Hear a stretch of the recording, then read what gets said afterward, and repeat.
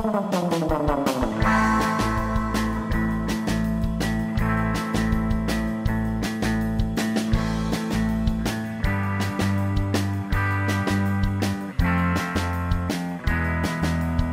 we start with the patty. We've got a dry Cajun rub.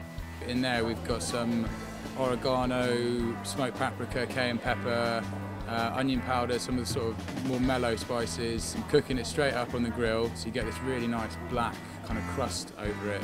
We use a bloodshot vodka as well. It's like a, uh, a vodka that's been mixed with all the spices you'd imagine to put in a Bloody Mary. So you've got your Tabascos in there, you've got port as well, I think, uh, Perrins.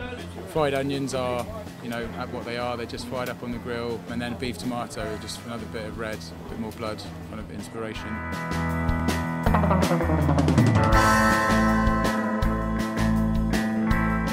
The Honest Burgers Louisiana Burger. It's got an excellent caramelised crust with Cajun rub in it. Uh, Bloody Mary ketchup is bloody great. Um, I thoroughly recommend it.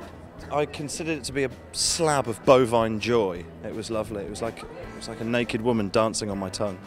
It was very it was very tasty.